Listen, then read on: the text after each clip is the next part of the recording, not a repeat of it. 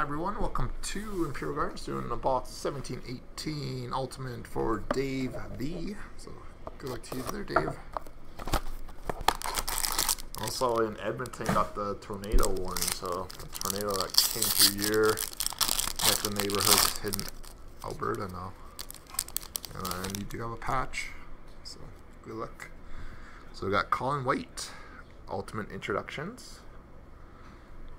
Got a Ultimate Rookie Auto, 221 out uh, of 299 of Joe Eriksson Ek.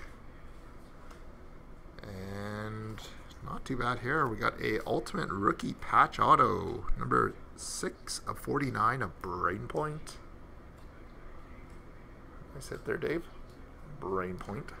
Three color patch auto and a Logan Brown jersey, 233 out of 299. Have it, Dave. Not too bad of a box.